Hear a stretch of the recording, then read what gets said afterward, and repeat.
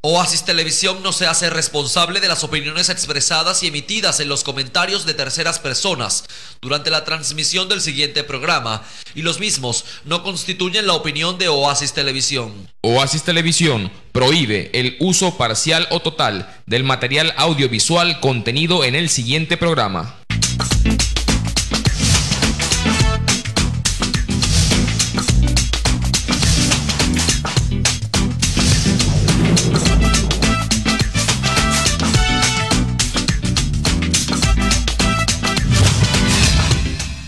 ¿Qué tal amigas y amigos de todo el oriente venezolano? Soy Marco Antonio López Barreto y esto es Compendio a través de Oasis Televisión solo para gente como tú. Para hoy vamos a continuar hablando de la situación actual del país, eh, que de verdad es preocupante. Cada día tenemos noticias eh, alarmantes, tristes, en muchos de los casos, de lo que vive la población tanto eh, afecta al gobierno como la que está contraria al gobierno, porque de eso se trata una democracia, de que eh, pues exista pluralidad de pensamiento, pluralidad de convicciones políticas, pero que debe ser siempre dilucidado de una manera pacífica, de una manera democrática, porque eso es lo que dice nuestra constitución, que Venezuela es un país hecho para la paz. Y de nuevo está con nosotros el doctor Manuel Ferreira, abogado penalista, eh, reconocido por ser defensor de todos los manifestantes que desde hace años, pues desde 2014, han estado eh, siendo detenidos por eh, sencillamente ejercer el derecho de la manifestación, el derecho a la protesta, pero que eh, el gobierno lo toma como una violación a el libre tránsito, como una violación a derechos de las otras personas que no son afectas, perdón, que no son de la oposición, este, que son más bien afectas al gobierno y por eso incluso escuché el día de ayer o antes de ayer que todas las manifestaciones de la oposición son violentas, son consideradas violentas porque agreden el derecho al libre tránsito, porque trancan las vías y ah, a los ciudadanos que no están de acuerdo con esa protesta, pues no les permiten circular libremente. Y eso le da la característica de violenta y por eso es que son reprimidos. Para hablar de este y otros temas, porque incluso no vino solo Manuel Ferreira, este, eh, también vino con algunos eh, activistas del Partido Voluntad Popular que fueron detenidos, que han vivido lo que significa estar privados de libertad y en este caso, primer caso, ah, porque Manuel Ferreira está aquí a mi izquierda y a su lado está en primer lugar Freddy Paredes, coordinador de activismo del Partido Voluntad Popular aquí en el estado de Anzuategui. Así que a ambos le doy la bienvenida a Manuel una vez más y gracias por aceptar la invitación, Manuel. No, muchísimas gracias, Marco. Siempre un gusto estar aquí con ustedes y, y poder mantener abierta esta ventana para que la gente se entere de lo que realmente está pasando en Venezuela. Bien, Manuel, fuera de cámara comentábamos que yo creía que no tenía mucho tiempo sin venir y aparentemente tiene más de dos meses, o sea que no hemos comentado realmente lo que ha sucedido en el país desde que comenzaron las manifestaciones. Yo quisiera que tú, como personaje que ha estado presente como protagonista de todos esos hechos, me digas, me des una rápida eh, análisis cronológico de lo que ha sucedido y lo que ha significado para la oposición todos estos mm, más de 40 días que lleva eh, las manifestaciones. Correcto, bueno, eh, en principio hay un golpe de Estado continuado por repetidas malversaciones de la ley por parte del Estado venezolano representado por Nicolás Maduro como un dictador. Pero el punto de inflexión fueron esas dos sentencias del Tribunal Supremo de Justicia que de una u otra forma terminan de violentar el Estado de Derecho y rompen el hilo constitucional. Esto generó que la gente se volcara a las calles a no permitir que la dictadura se apodere de Venezuela, a no permitir que la democracia sea un cuento que una vez hubo en Venezuela, sino que podamos recuperar un Estado de Derecho, podamos recuperar el hilo constitucional y podamos recuperar un Estado social de justicia de verdad. Eh, esto trajo como consecuencia que se volcaran las personas a la calle, de manera pacífica, pero incómoda para el gobierno. Porque hablar de que nuestras protestas son violentas porque vulneran el derecho al libre tránsito, eh, debemos de aprender a ponderar cuáles son nuestros derechos constitucionales. Y en la ponderación debemos priorizar el derecho a la paz, el derecho a la justicia, el derecho a la democracia, el derecho al libre pensamiento, el derecho a que vivamos libres el derecho a la libertad, propiamente dicha, está por encima de cualquier otro derecho. Y si nosotros para protestar debemos trancar con personas una calle en paz, sin hacerle daño a nadie, sin, sin violentar la integridad física eh, de absolutamente ningún otro ciudadano, hermano venezolano, nosotros sencillamente nos estamos haciendo sentir para que el gobierno entienda que tiene que de una u otra forma llamar a una consulta popular que nos permita a nosotros decidir hacia dónde va Venezuela. Nosotros no vamos a seguir permitiendo que desde una cúpula podrida, como es la que, la que se encuentra en Miraflores, se siga dirigiendo al país a donde no quieren ir los venezolanos. Nosotros estamos decididos a recuperar eh, la libertad, decididos a recuperar la democracia y nos mantendremos en la calle, aún a pesar que nos están matando en las calles con una represión brutal, nosotros nos, nos permaneceremos firmes y dispuestos hasta la última consecuencia a recuperar a nuestra Venezuela. Bien, a tu lado está Freddy, Freddy Paredes, eh, coordinador de activismo de Voluntad Popular. Tú estuviste detenido. Cuéntame eh, los hechos, cómo ocurrieron. Sí, efectivamente, en la tarde del miércoles de la semana pasada nos detuvieron a mí y a tres compañeros más de Voluntad Popular. Estábamos ya retirados de lo que fueron las protestas que se dieron. ¿A qué hora fue eso? A las 2 de la tarde, entre 2 y 3 de la tarde nos detuvieron. Y estábamos pues en Plaza Mayor, ya nos encontramos en el municipio Urbaneja, donde pues una patrulla de la brigada turística nos detuvo, nos dijo que nos iban a llevar a Polianzuati, al comando principal de Polianzuati, y pues empezaron a revisarnos, a hacer todo eso, pero teníamos la tranquilidad de que no estábamos cometiendo ningún delito, de que veníamos de protestar pacíficamente dentro de la constitución, dentro de la legalidad de lo que se puede hacer en la calle y conociendo nuestros derechos, pues nos quedamos tranquilos a la espera de que nos liberaran. Sin embargo, eh, se apersonaron cuerpos policiales de otros factores como lo del centro de la inteligencia y pues hicieron, hicieron su, su razón, su trabajo y pues nos mantuvieron ahí hasta el día siguiente. Ya va. ¿A ustedes los trasladaron para dónde? ¿Para el comando de la policía eh, del Estado? Sí, en el crucero de lechería. En el crucero de lechería. Ajá, y ahí estando allí llegó otro cuerpo policial. Sí. ¿Qué cuerpo policial me dijiste? De Servicio Bolivariano de Inteligencia. El SEBIN. Sí. Llegó el SEBIN a la policía del Estado. ¿Con qué finalidad? Pues quisieron interrogarnos preguntando dónde estábamos, dónde nos encontrábamos, eh, quién financiaba estas protestas. Lamentablemente no hay nadie quien financie esto, nada más la voluntad de un pueblo que sale a la calle dispuesto a cambiar el país, dispuesto a cambiar la, Venezuela que tenemos por la Venezuela con la que sueña y se despierta todas las mañanas por tener. Bien, vamos un momento a publicidad y al regreso vamos a seguir escuchando a, Yo, a Johan, ¿verdad? Es, no, eh, no, a Freddy Paredes, a Freddy Paredes para que nos siga eh, relatando cómo, cómo fue lo que vivieron durante esa ese, tiempo que estuvieron detenidos. Ya volvemos a Compendio a través de Oasis Televisión, solo para gente como tú.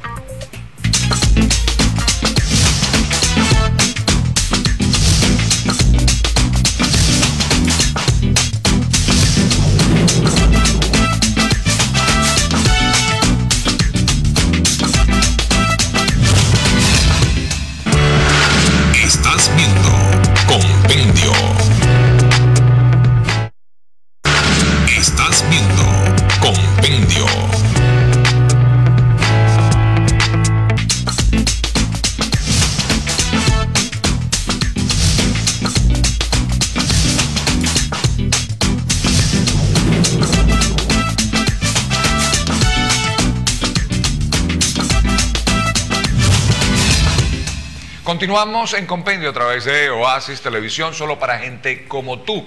Y estamos conversando con el doctor Manuel Ferreira, abogado penalista, defensor de las personas que eh, han sido privadas de la libertad luego de manifestar en las calles su aversión al gobierno nacional. Y eh, algo que está garantizado en la Constitución de la República de Venezuela, porque Nada más votar en contra también es aversión. Esto no estar de acuerdo es aversión. Manifestar, salir a decir, vete ya, eso es un deseo que tiene cada quien. Ahora que se vaya, eh, no es una pistola que le están poniendo a nadie para que se vaya. Estoy manifestando un deseo de que se vaya, eh, poniéndome en el caso de los manifestantes. Y este, con él ha venido, en primer lugar, el coordinador de activismo del Partido Voluntad Popular aquí en el estado Anzuategui, él es Freddy Paredes. Y nos estaba conversando acerca de los hechos, cómo sucedieron cuando cayó detenido entiendo que me dijo que fue en predio del el centro comercial Plaza Mayor, me dijiste. Y fue trasladado al comando de la Policía del Estado ahí en Lechería. Y luego llegó el SEBIN para interrogarlos, cosa que no es el, procedimiento regular, porque lo debería interrogar el SEBIN, sí lo detuvo el SEBIN, pero no, o Ahí hay una cosa medio extraña. Pero en todo caso, peores cosas se han visto. Eh, eh, Freddy, cuéntame, luego que llegó el SEBIN a interrogarlo, eh, ¿en algún momento fueron objeto de maltrato, tortura o algún tipo de cosa? No, para nada. Desde el primer momento siempre hubo un trato muy humano de parte de los funcionarios. Creo que desde que entramos nos estuvieron tratando bastante bien eh, de hecho, entendían que el problema no era, un, no era un tema de violencia o un tema de asesinato. De hecho, que entendían que era un tema político y que muchos de esos funcionarios, muchos de los funcionarios que están allí, entienden que el problema no pasa solamente por un tema político, ¿no? sino que también tienen los mismos miedos que nosotros. Tienen miedo de levantarse mañana y no tener comida, tienen miedo de levantarse mañana y no, no tener nada por ofrecer, no tener trabajo, no tener futuro. Entonces ellos nos decían con preocupación que bueno, que evidentemente ellos confían en la lucha, pero que muchas veces estas luchas que ellos querían apoyar no podían porque había órdenes superiores que no se lo permitían. Bien, eh, ¿cuántos días estuvieron detenidos? Estuvimos detenidos un día y medio, 36 horas aproximadamente estuvimos ahí dentro. Luego de que estuvimos en Polianzuate y al día siguiente, en las horas de la mañana, cuando llega y se empieza a montar lo que era una rueda de prensa, de parte del gobierno estatal, pues para acusarnos de terroristas, acusarnos sin pruebas, porque lo que se pudo evidenciar ahí es Ya, ya, ya, ya, espérate, para ubicarme en el contexto, porque como esto no, lo conversé antes, ustedes fueron los detenidos que cuando llegó el, el gobernador del estado y puso en la mesa todas las armas de destrucción masiva, tales como el megáfono, la franela de voluntad popular, este, los afiches. ¿Esos son ustedes? Esos somos nosotros. Ah, bueno, imagínate tú. Ok, ahora sí me ubico. Está bien, gracias por la, observación, porque no, no, no, estaba ubicado en el tiempo ni en las personas. Perfecto. Bien. Eh, hicieron esa, esa presentación, esa, esa rueda de prensa. ¿Qué dijo el gobernador allí? Porque no tuve oportunidad de pues escucharlo realmente, sino ver la foto. En esa rueda de prensa nos acusaba de terrorismo, de violencia, acusaba que tenían que imputarnos por delitos que evidentemente no, estaban, no se estaban cometiendo y que las evidencias que estaban ahí eran gorras, pancartas y dijo que algo que nos parece innecesario en el momento, que era el hecho de que esté porte ilícito de megáfono, que es una cosa que... Porte ilícito, de, megáfono. O sea, el megáfono no es un arma, para empezar. Ya ahorita voy a hablar con Manuel para que me, dé luces, porque de verdad que a esa clase no fui. Que entonces el, doctor Manuel nos explica entonces cómo es ilícito tener un megáfono que lo que hace es realzar la voz y, tu, y tus opiniones en, eso, eso me afecta a mí, que, cuya, eh, cuya profesión precisamente el perifoneo, como se dice, ¿no? Entonces imagínate tú, ya voy a, pedirle alguna este, asesoría al doctor Ferreira. Ah, entonces... Luego de esa rueda de prensa, pues unos minutos más, salimos de allí y nos dirigimos fue al Tribunal Supremo, a los tribunales, disculpe, nos fuimos a los tribunales, entramos en lo que eran los calabozos, pues ahí nos tuvieron durante más de cinco horas en los calabozos, bajó lo que una comisión de alguaciles para llevarnos a la audiencia ya a horas de la tarde, 5 de la tarde. Mientras estuvimos ahí también hay que rescatar el comportamiento bastante humano de los compañeros que estaban de la Guardia Nacional. Pero, sin embargo, tenemos que decir que el hacinamiento que se ve ahí, el hacinamiento de todos los presos que están es horrible, las condiciones en las que están son deplorables. ¿Ustedes lo pusieron con los presos comunes? Al inicio, luego pudimos, pues, al darse cuenta de que no éramos presos eh, presos por violencia, como les decía, o algún tipo de sentencia por asesinato, pues nos trasladaron a, otro lugar un poco más cómodo, pero que no perdía las mismas características. Solo por curiosidad, solo por curiosidad, no tiene nada que ver con, con, más nada, sino con la curiosidad propia de, de- de- de una persona, de un penalista, pues, y que le gusta la criminología. ¿Cómo fueron recibidos por los presos, por los privados de libertad dentro de la cárcel cuando se dieron cuenta de que ustedes no eran, este, en todo caso, eh, del mismo eh, tipo de violadores de la, de la ley como ellos, pues? Sí, al principio con mucho recelo porque nos vieron llegar con, con cuerpos policiales, pues entonces ellos tienen ese recelo, pero al final, al darse cuenta que el problema no era así, que el problema no era, no era el mismo por el que ellos estaban en el calabozo contigo, pues se mantuvieron tranquilos. Se mantuvieron, entendieron que era nuestra lucha, incluso hasta apoyaban, pero era algo que, que no podíamos controlar, no sabíamos cómo reaccionar porque era un encuentro emocional muy difícil porque estabas ahí en una dinámica, entonces tu, tu mente estaba totalmente pensando en lo que estaba ocurriendo afuera, en lo que estaba pasando en, en los alrededores. Y bueno, decidieron trasladarnos, como le dije después, a una celda que estaba más, en mejores condiciones, como pudiéramos decir, y pues ahí nos mantuvieron. Ahí estuvimos aproximadamente 5 o 6 horas. Luego de ahí subimos a audiencia con el doctor Manuel. Eh, esa audiencia no duró más de 30 minutos, pero luego pasó algo extraño, no había ningún delito, no había ninguna prueba de criminalidad y nos dijeron que nos tendríamos que mantener ahí por más de una hora más. Entonces, luego de que pase esa hora es que logramos otra vez subir a lo que sería la sentencia final, la audiencia final, y nos dan esa libertad plena que era lo que estábamos esperando. Ok, Manuel, en principio lo que, lo que quería saber, ¿cómo es eso de, de, este, ¿cómo se llama? Este, Porte ilícito porte de megáfono, explícame. Porque Debo ir, debo ir un poco más atrás Ajá. para llegar ahí. Eh, Freddy decía en su exposición que fueron tratados muy bien por los cuerpos policiales. De repente el trato tú a tú este, fue, fue un trato amable por parte de los funcionarios. Pero la policía del Estado cometió varios errores puntuales. No hubo acceso a los abogados a hablar con nuestros detenidos. Y eso es un derecho constitucional, eso es un derecho procesal, eso es una garantía de nuestro ordenamiento jurídico desde el más, punto más alto que es la Constitución hasta el punto más bajo que sería la ley procesal o adjetiva penal. No tuvimos acceso, de hecho, hubo un momento en que cada uno le permitieron ver a un familiar y yo, bueno, me colé entre los familiares para ver si tenía acceso a ver qué es lo que estaba pasando con ellos y bueno, evidentemente me identificaron y me sacaron de allí, cuestión que es completamente ilegal. Luego, o sea, se despliega una rueda de prensa, que es de lo que estamos hablando, donde los, elementos de interés criminalístico que presentó el, el gobernador encargado, esa persona que cuida la gobernación, porque no fue electo, eh, son megáfonos, pancartas, franelas, chapas, gorras, o sea, ningún elemento de interés criminalístico. Nada que ni siquiera necesite un permiso para adquirirlo o para aportarlo.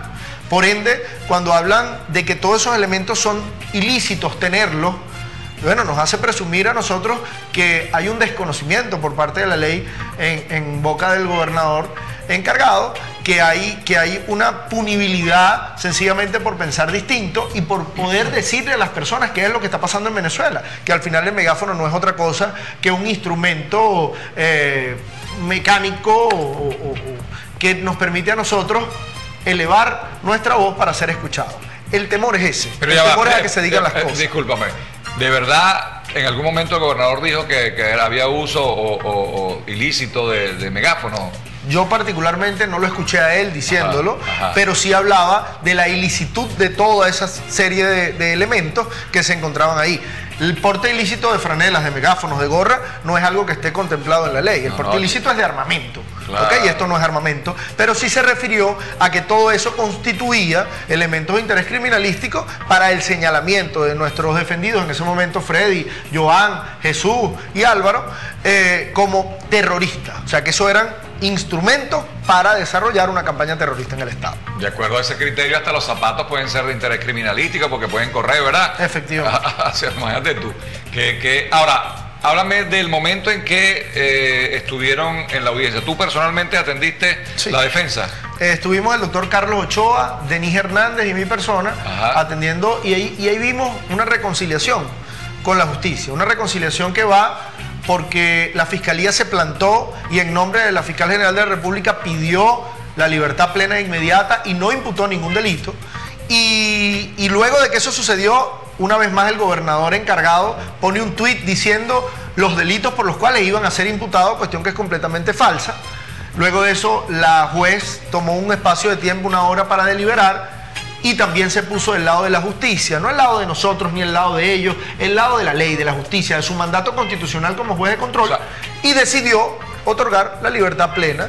Porque los hechos eh, que se relataban no, no revistían carácter ningún penal. tipo de carácter penal. Ningún tipo de carácter penal. Tuvimos momentos de estrés porque hemos visto que en otros estados la fiscalía no imputa ningún delito, solicita la libertad plena y los jueces, algunos atribuyéndose funciones que no les competen, califican la conducta, califican un tipo penal y dictan una privativa de libertad. Lo hemos visto. En este, en este caso en Anzuategui, por eso digo que hubo una reconciliación con la justicia, porque tanto los fiscales como los jueces se apegaron al mandato constitucional y legal. Bien, vamos de nuevo a publicidad. Despedimos en esta parte a Freddy Paredes.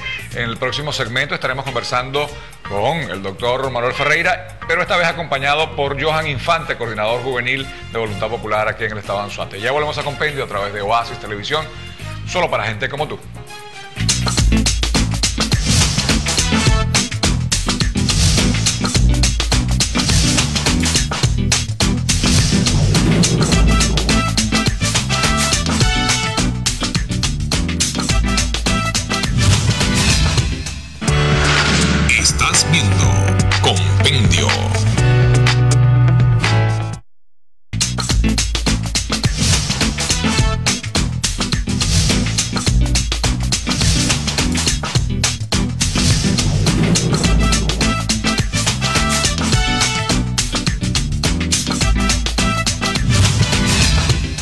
Continuamos en Compendio a través de Oasis Televisión, solo para gente como tú.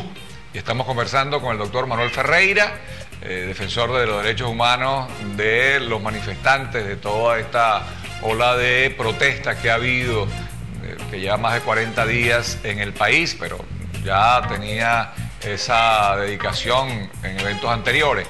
Y él vino acompañado de dos activistas militantes del Partido Voluntad Popular, eh, partido del cual es dirigente también, eh, y eh, pues que estuvieron detenidos en uno de los últimos acontecimientos, en el célebre hecho, yo no, no, no sabía hasta que conversé con los muchachos al aire, incluso me enteré que eran los del caso en donde el gobernador expuso ante una mesa y dio una rueda de prensa que yo nunca entendí, yo dije, ¿qué es esto? ¿De qué se trata esto? Entonces es una broma. Y entonces como elementos de interés criminalístico, que siempre ponen las panelas de, de marihuana, las armas, este, armas blancas, armas de fuego, lo que sea, lo que haya de interés criminalístico, esta vez lo que estaba eran franelas, gorras, celulares y dos megáfonos, creo que eran, dos megáfonos eran, sí, dos megáfonos, no entendí absolutamente nada y eh, pues eh, efectivamente son ellos. Entonces, eh, una vez que, Johan, tu experiencia me imagino que es similar a la que relató Freddy, ¿cierto? Cierto. Pero tú personalmente, ¿qué sentías? Ahora quiero, como, como, como joven, como coordinador juvenil de un partido que ha llevado de verdad una gran carga de, de digamos, de, atención y de persecución por parte de los cuerpos del Estado porque los han llamado a los entes de voluntad popular hasta terroristas. O sea que tú, pues e- e- eres, para el gobierno tú eres un joven terrorista. Eh, independientemente que lo que llevabas era megáfono, eh, llevabas franela, gorra, lo que sea, tu intención es sembrar el terror. Entonces, ¿cómo te sientes tú como joven que eh, pues eh, está haciendo, a pesar de lo que pide es libertad, lo que pide es elecciones, que la gente es, algo absurdo, ¿no? Que la gente lo que pide es elecciones, pero es reprimido como si fuera terrorista. ¿Cómo te sientes tú como joven al ver eso? Bueno, primero buenos días y gracias por la invitación. Y hay que señalar algo muy importante. Nosotros en nuestra formación política nos hablan de la no violencia y alguien que siempre leemos mucho a Jim y decía, y este establece en uno de sus postulados, que cuando un gobierno dictatorial te cataloga de terrorista es porque estás haciendo las cosas bien. Y definitivamente nosotros dentro de Voluntad Popular y sobre todo el cuerpo que yo represento, que son todos los jóvenes de este estado, bueno, nos hemos abocado al estudio sistemático de esta estrategia de lucha no violenta para nosotros hacer y contrarrestar y provocar eso que hizo el gobernador. Para nosotros sencillamente en este momento nos da risa, ¿no? Porque obviamente lo que ahí sucedió era un motivo de risa no solo para nosotros en ese momento, sino para todas las personas que ahí estaban para todas las personas que de una u otra manera nos dieron su apoyo en ese momento. Y definitivamente logramos el objetivo, logramos desenmascarar a una persona que sencillamente, evidentemente no tiene la preparación primero para llevar un Estado, porque es evidente que una persona que cataloga a unos muchachos que sencillamente lo que teníamos era megáfono, lo que teníamos era gorra, es decir, materiales de los cuales cargamos cotidianamente en nuestros vehículos y catalogarnos de esa manera lo que demuestra primero es una falta de conocimiento de la ley y segundo es un desespero por tratar de vincular a voluntad popular y a los jóvenes que porque estamos en Venezuela en actos terroristas para así tener las bases y poder señalar a los manifestantes y de una u otra forma generar miedo en la población. Yo voy a, voy a, voy a disentir, disculpa que te interrumpa, yo voy a disentir en lo que tú estás diciendo en, en que el gobernador no tiene conocimiento sobre eso. Quizás no tenga conocimiento legal, pero si tiene conocimiento desde el punto de vista de lo que significa ser un estudiante manifestante que sale a la calle, porque él lo fue durante mucho tiempo. ¿verdad? En su momento quizás también fue perseguido por los gobiernos de turno, pero él sí sabe qué es lo que lleva una persona para hacer el proselitismo o para hacer violencia. No estoy diciendo que él era uno de los violentos, pero que él debe saber la diferencia, porque él estuvo en la calle como estudiante también pidiendo reivindicaciones, no solamente para los estudiantes, sino para, para el resto de la población. O sea que eso de que él no sabe lo que había ahí y que, eso no sirve, no, no, no, puedo compartir eso porque él, él sí lo sabe. Ahora, el por qué es lo que no entiendo, por qué se lanzó esa... esa esa, ¿cómo llamarlo? Aventura. Esa aventura. Bueno, nosotros... No sé si aventura, pero ese desliz ahí, porque de verdad uno no hace las cosas para después quedar ridículo, no tiene sentido eso. Sí, no, yo me imagino que es una falta de información de su equipo, vamos a verlo de esa manera. O sea, él no sabía que eso es todo lo que había allí. No, tú, lo, tú lo justificas de, esa forma. Él creía que de verdad habían otras cosas. Definitivamente. Pero ahí aparecieron, ahí aparecieron dos botellas, creo, que aparentaban ser presuntamente de Molotov. Eh, ¿En dónde llevaban ustedes esa botella? No, para nada. Eso fue eh, artículos que pusieron ahí quizás para darle otro matiz a las pruebas que supuestamente existían, pero eso, como lo decía nuestro abogado y compañero de partido, no estaba en el acta. Eh, nosotros creemos. Esa botella de Molotov no, constaban en el acta. Para nada. eso fue algo que sembraron en ese momento para que pareciera eso allí. Porque eso es implantación fraudulenta de evidencia. Así es. O por lo menos un intento de implantación fraudulenta de evidencia. Y eso es un delito que, que, que, que grave. Bueno, aquí nosotros estamos... Y, queda, documentación gráfica de eso incluso. ¿Qué te parece? Nosotros, nosotros como no tenemos miedo y nosotros como queremos ser honor a la justicia, en algún momento, según eh, la información que tengamos, vamos a hacer las denuncias correspondientes porque entendemos que tiene que haber un precedente, porque no puede venir cualquiera o un gobernador en este caso a acusar a unos jóvenes de terroristas basados sencillamente en lo que ahí estaba. Y es lamentable este tipo de conducta. Más allá de eso, bueno, nosotros tenemos que agradecer la actuación de la Fiscalía que se abocó de forma pertinente en nuestro caso, agradecer el comportamiento, bueno, dentro de lo que fue el trato hacia nosotros y todas las personas que ya estaban, no te imaginas el apoyo que recibimos, no se imaginan la cantidad de personas que al salir de allí nos decían muchachos, sigan trabajando, muchachos, sigan luchando, porque ellos entienden ciertamente en qué estamos, hacia dónde vamos y qué queremos lograr. Y en función a eso nos mantenemos, en función a eso nosotros vamos a seguir en la calle trabajando día a día, porque como lo decíamos, nosotros tenemos sueños que mucho vuelan y esperanzas que no aterrizan y para eso estamos nosotros los jóvenes venezolanos, para lograr ese mejor país, esa mejor Venezuela. Pero además de ustedes dos había más detenidos, ¿no? Sí, estaba nuestro compañero Jesús Rodríguez, quien fue señalado como alias el Carúpano, eh, quien fue. ¿Lo llaman así al Carúpano? Él lo conocemos eh, comúnmente como Carúpano, pero entonces ah, ellos tienen algo así le como. Dan como que el alias. Sí, le dan como el alias. Y fue con quien se ensañaron más porque él es el coordinador regional de organización de Voluntad Popular y conjuntamente con nosotros estaba Álvaro Abreu, que también pertenece al partido. me llamarían alias el compendio, porque hay mucha gente que me llama compendio. alias el compendio. Está bien. Eh, óyeme algo. Eh, una vez que ustedes estaban allí, eso fue una rueda de prensa, me dicen, ¿no? Así es. Eh, ¿Los periodistas pudieron realizar preguntas al gobernador? En ese momento. ¿O solamente fue la declaración del gobernador? No, en ese momento nosotros estábamos entre. porque entramos dos veces, como te lo comentaba fuera de cámara, y en, eh, los, los, periodistas estaban estupefactos de lo que estaban viendo. Sencillamente no hubo un intercambio de preguntas con respecto al gobernador, o si lo hicieron en ese momento, lo hicieron alejado donde estábamos nosotros, ah, porque ahí había todo un planteamiento, ahí había toda una cuestión de seguridad, y bueno, nosotros sencillamente escuchábamos lo que él decía, y de verdad, y hay que ser muy sincero con esto, nosotros no sabíamos si ponernos a reír o llorar de lo que ahí se estaba diciendo. Entonces, bueno, ahí teníamos... No creo un que cuando uno lo meten preso tenga ganas de reír, ¿no? Pero, No, pero, pero la verdad es que con lo que estaba diciendo en ese momento, y eso lo sabemos nosotros que lo vivimos, no, nadie nos puede creer o decir que es verdad o mentira, sin embargo nosotros lo vivimos, estuvimos allí y eso fue lo que sucedió. De verdad que lo que decía era para, para, para preocuparse por la, por la risa que... ¿En algún momento tuvieron ustedes temor por la integridad física? No, nosotros de verdad la conducta y hay que rescatarlo desde el primer momento en que nosotros nos detuvieron, que efectuaron el operativo.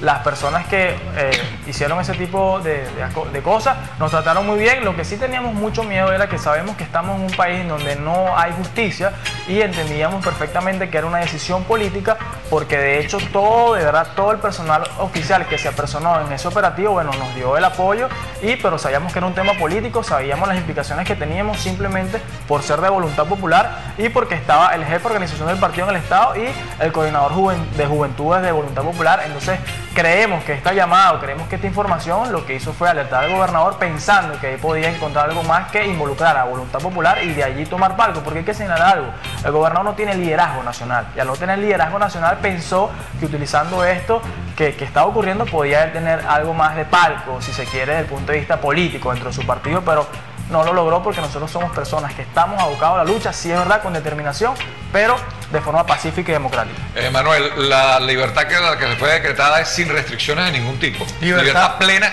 por no haber ningún tipo de, eh, de- de- de- los hechos no se, no se no encajan en ningún tipo penal, por supuesto no, no hubo delito. De hecho, ni siquiera hubo la imputación. O sea, el fiscal, el fiscal dijo no hay nada que imputar, la conducta subsumida por los ciudadanos no reviste carácter penal y solicito la libertad plena de cada uno de ellos en este mismo O momento. sea que ustedes no tienen restricciones de volver a, a estar en un tipo de manifestaciones ni nada. Al día siguiente, en la marcha de los abuelos, bueno, ya estuvimos acompañándolos y ya estuvimos nosotros haciendo actos de presencia. Ok, volviendo a, a Manuel Ferreira, así como, como has atendido, han atendido a ustedes a estos muchachos, ¿cuántos detenidos van aquí en el estado de Suategui desde que comenzaron estos cuarenta y tantos días de, Mira, de- de estamos, esta- estamos alrededor de 400 y tantos detenidos. Y bueno, recientemente estuvimos en justicia militar atendiendo a 8 detenidos de Sucre. Ok, vamos a ir entonces un momento a publicidad y ese tema me interesa mucho porque, como sabemos, este, están siendo imputados y presentados ante civiles, ante tribunales militares, lo cual es inconstitucional porque eh, sabemos que el código eh, de justicia militar es previo incluso es de aprobación previa a la Constitución de la República y si bien establecía algunos tipos penales eh, en el cuales podía ser posible que sucediera, la Constitución de 1999 acaba con eso, pero de plano. Ya volvemos a compendio a través de Oasis Televisión, solo para gente como tú. Estás viendo Compendio.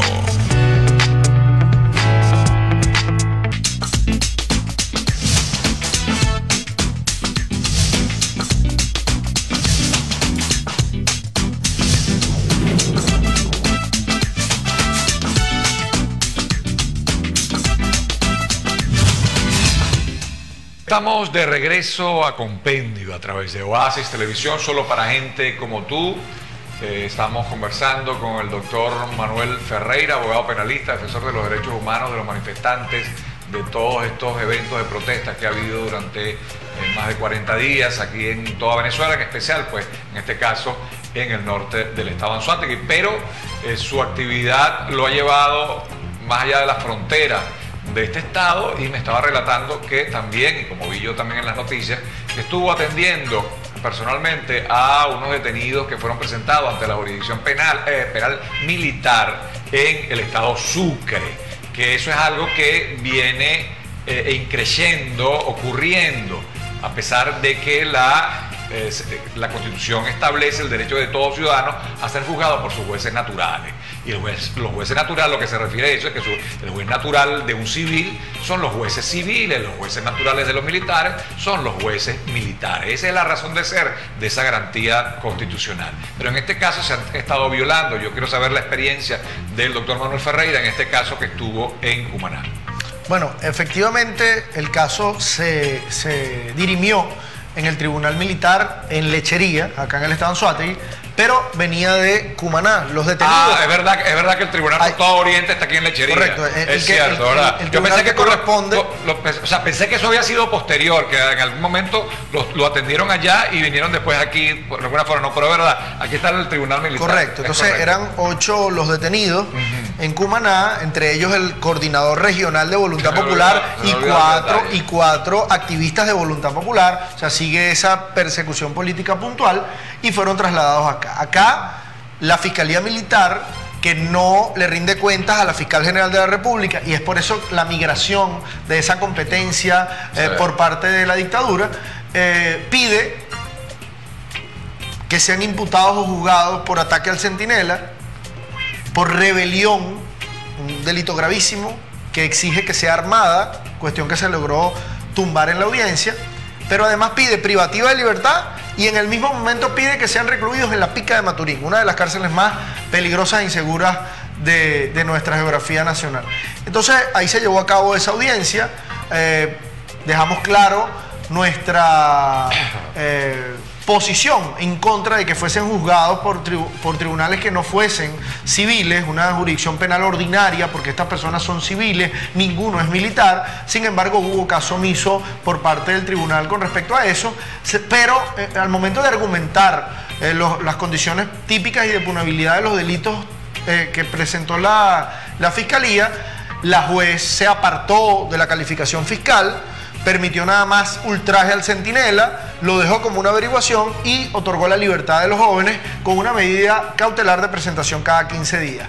En vista de lo que hemos visto, de 260 casos que ya van a Los- nivel los- nacional. Nos has hecho disculpa para, para detenerte ahí un momentico y poder entender eh, eh, cómo se, se desarrollaron los hechos dentro del tribunal.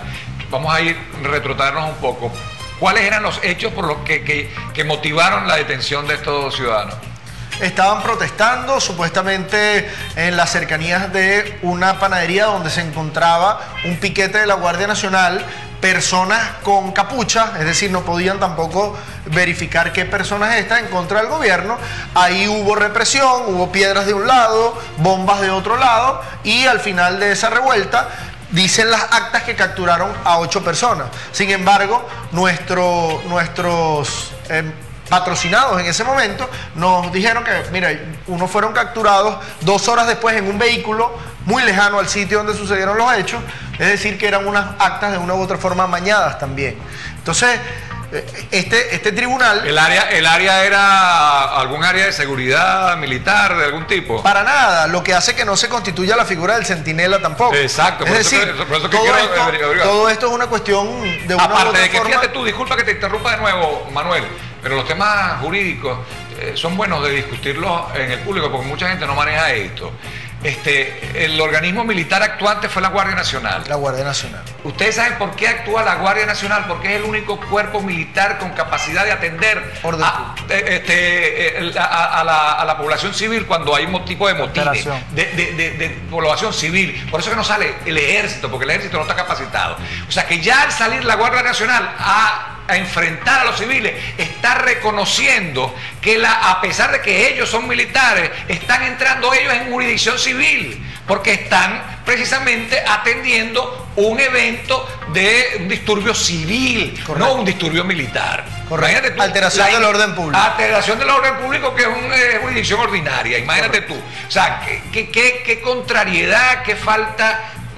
Yo no digo que falta de conocimiento, hay mucha mala intención en eso. Es falta de respeto, Falta de respeto, a- exacto. a- a- al conocimiento, es falta de respeto a la integridad de los manifestantes, de todos los venezolanos, de los abogados, incluso de los jueces eh, militares y civiles, porque a los militares lo están poniendo en una situación muy incómoda de asumir la responsabilidad de una jurisdicción que ellos saben que no les compete y a los tribunales ordinarios le están arrebatando una jurisdicción que les compete. Así. Entonces, eh, realmente hay una falta de respeto muy amplia con respecto a toda esta situación. Sin embargo, es importante rescatar que dentro de lo malo, ¿ok? que estén presentados ante justicia militar, hay una- una- unas cuestiones que rescatar, que es la libertad. El principio de la libertad se respetó al menos, y estos jóvenes están todos ahorita en régimen de presentación, ilegal, eh, siendo conocidos por un tribunal que no les compete, pero en libertad. Y es bueno acatar que de los 260 casos, que han sido presentados ante jurisdicción militar en todo el Estado venezolano, los primeros que salen con una libertad, así sea, con una medida cautelar, son estos. Por eso hablamos nosotros en ese momento de la reconciliación parcial, aunque sea, con la justicia acá en el estado de Anzuategui, porque hemos visto firmes no solo a los tribunales ordinarios, sino a los tribunales militares, al menos con respecto al respeto de la inviolabilidad del derecho a la libertad y el principio fundamental constitucional y procesal de la afirmación de la libertad. Ahora, ¿hubo algún tipo de, alegato luego de, porque tú sabes que a veces los, tribunales y las audiencias tienen un momento de informalidad, eh, hay un momentico pequeño de informalidad. Se dio en esa audiencia ese, momento de informalidad en el cual intercambiaban de alguna forma eh, opinión el fiscal y la, y la, y juez y la defensa conversaba de manera informal, no se dio ningún La jurisdicción penal eh, ordinaria permite esos momentos de humanidad en donde, mira, pero aquí no hay nada, o podemos, podemos discutirlo como lo sabemos nosotros que ejercemos esa materia. En la jurisdicción penal militar no existe eso. De hecho, el, el momento para nosotros acceder a las actas es supervisado por un funcionario que está al lado tuyo, midiéndote el tiempo. Es una cuestión muy cerrada. Eh, somos tres abogados, puede entrar uno solo y revisar las actas y sale y cierran. Es una cuestión bastante hermética. Eh, recordemos que la jurisdicción militar, ellos, ellos sienten que ahí, aunque están tratando con abogados civiles, aunque están tratando con imputados que no son militares, ellos sienten que están en una suerte de guarnición y quieren permanecer en esa, en esa misma tónica. Pues. Entonces no se dio esa posibilidad de nosotros discutir eh, fuera de la audiencia qué era lo que se estaba llevando a cabo allí. Bien, eh, en este momento en el estado de Anzuate hay algún detenido eh, por, por las manifestaciones. No, todos los, todos los que han sido, han sido detenidos desde el 2014 hasta nuestros días y han pasado por la justicia, han salido algunos en libertad plena, otros con, con medidas cautelares que luego se han transformado en sobreseimientos, pero actualmente en el estado de Anzuate no existe ni un solo detenido ni un solo preso político. Independientemente de las capacidades de los abogados que ha tocado defender estos casos, de los cuales pues me enorgullezco de conocer a varios y sé de sus capacidades y conocimientos jurídicos, independientemente de eso, ¿Qué es lo que hace que sea distinta la situación en el estado de Anzuategui con otros estados donde eh, los detienen y les violan los derechos e inventan eh, términos jurídicos como que está en estado de reacondicionamiento, de, inventaron esa, por algún lado lo escuché en Caracas, de que no lo soltaban y tenían incluso eh, más de 48 horas sin ser presentados a los tribunales porque estaban en ese estado de, no de reacondicionamiento, inventaron un término que me pareció más cubano que, cualquier otra cosa. ¿En qué tú crees que se diferencia eh, esos dos casos? Mira, fuera de que, de que como lo dice, los abogados hacemos un trabajo técnico muy puntual no es suficiente o no sería suficiente. Porque si sabemos que los jueces y los fiscales tienen una orden política que cumplir y ellos no son los que se rebelan y no la cumplen, por más trabajo que hagamos los abogados no vamos a lograr la libertad de nuestros detenidos. Nosotros lo que es abonar logramos abonar el terreno para que los jueces puedan tomarse o asirse de nuestros argumentos para tomar la decisión a la que fueron ellos combinados por la República, a los que fueron ellos combinados por, por la Constitución y la ley y ese mandato que tienen como jueces. Pero si no hay al final de la historia, por más argumentos sólidos que nosotros esgrimamos, si no hay la convicción del fiscal, si no hay la convicción del juez y ellos son serviles ante la dictadura, pues estuviésemos plagados acá de, de presos políticos. Yo estoy particularmente orgulloso en este momento de contarme como anzuatiguense, de contar con los fiscales que están en el estado Anzuategui y contar con cada uno de los jueces que no han permitido doblegar su espíritu de libertad y de justicia ante la zozobra que genera este régimen dictatorial. Bien, muchas gracias a Manuel Ferreira y a los muchachos de Voluntad Popular que estuvieron con nosotros, Joan Infante y Freddy Paredes. Gracias a ellos, a ustedes como siempre, la invitación para una nueva oportunidad cuando estaremos en compendio, pero no se vayan, que Oasis Televisión ha preparado una excelente programación para ustedes. Soy Marco Antonio López Barreto. Recuerden, da respeto, recibe respeto. Gracias por preferirnos.